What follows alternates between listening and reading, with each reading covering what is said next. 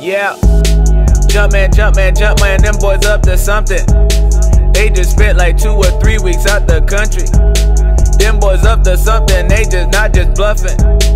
You don't have to call, I hit my dance like Usher, woo. I just found my tempo like I'm DJ Mustard, woo.